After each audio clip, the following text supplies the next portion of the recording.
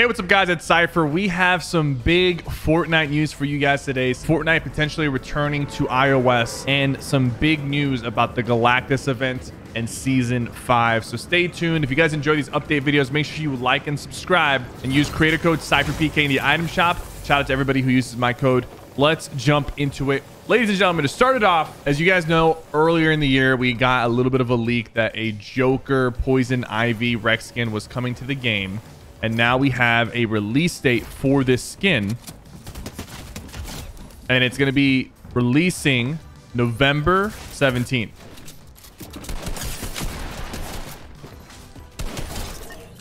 The thing is, uh, that's also the same day as the uh, Fortnite 14.6 update. So we're going to have a lot on that day. The 17th is going to be a pretty, pretty big day. And that's coming up in about the next five days. So I'll be sure to make an update video on the, uh, on the patch and everything else.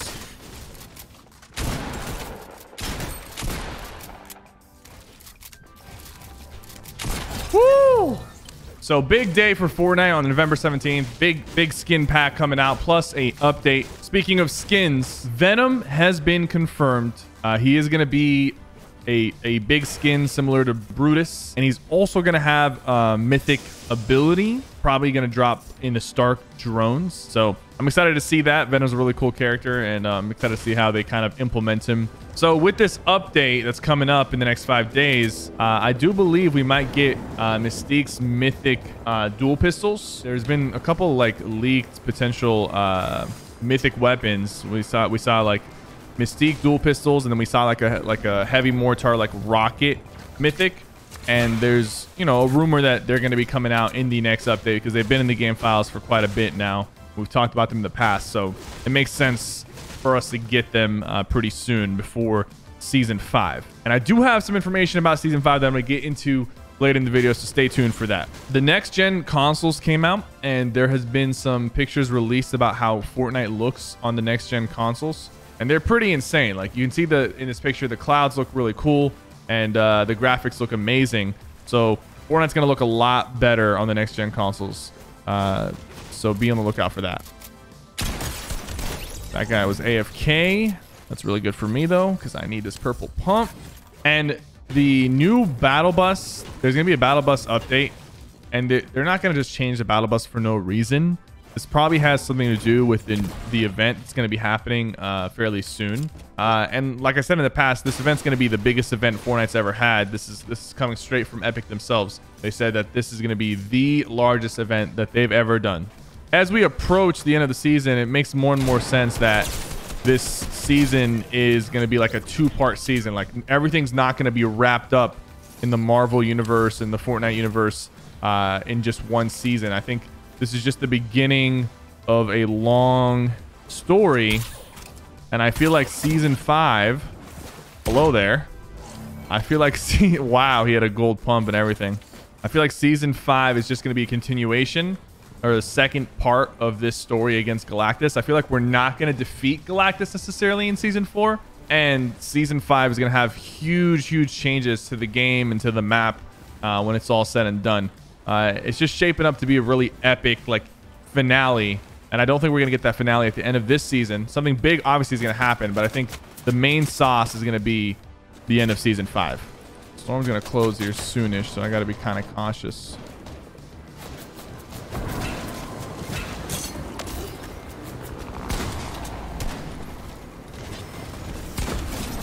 Ooh, I played this guy really well.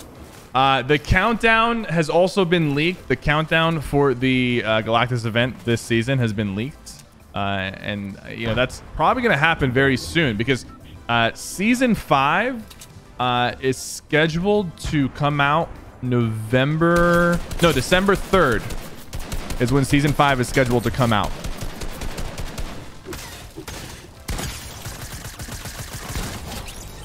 I'll be taking that from you. I'm thinking the countdown might start when the 14.6 update with the Joker skin pack and whatever Mystique weapons we get uh, potentially with that update. I think that's when the countdown will begin. Um, Galactus, by the way, he's he's huge. He's massive. He's getting bigger and bigger. And uh, He is he is the biggest thing that has come to Fortnite. Uh, the artist creators said that they had to make sure the resolution was really high on him, and it took a long time to put him in because of how big he's going to be uh, in the event. So you can now get two months of Disney Plus for free through Fortnite, which has a lot of people thinking that Fortnite is planning to incorporate some Disney IP into the game. Uh, one thing in particular is the Mandalorian. There is a gun that's in the game files that kind of somewhat matches uh, a sniper rifle from the Mandalorian, which is making people think that that's going to be the case, that we might see some Disney or even more Star Wars stuff coming into the game uh, with this partnership that Fortnite and Disney uh, have where you can get free Disney Plus.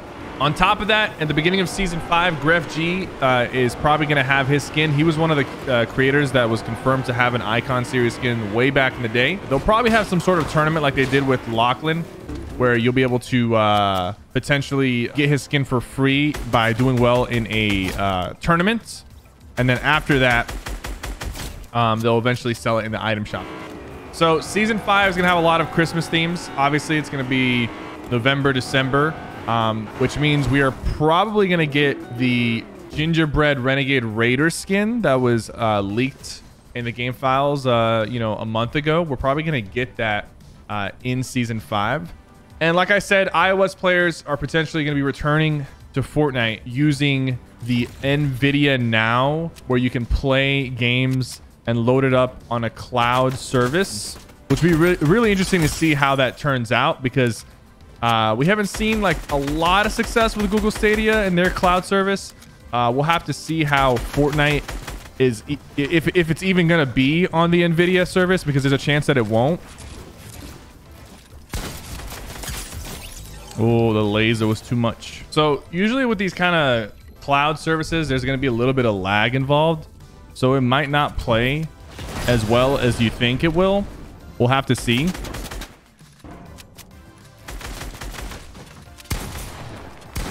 Get out of my face, bro. Come on.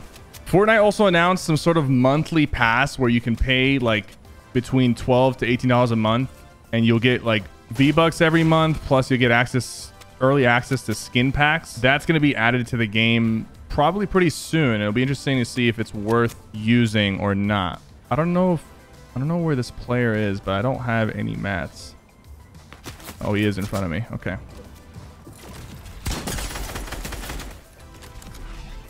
There we go. GG. A lot of information packed into this video. I hope you guys enjoyed. Is season five the end of chapter two?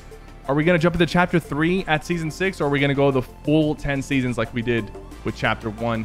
Let me know what you think in the comments down below. Don't forget to like and subscribe. I'll see you guys next time.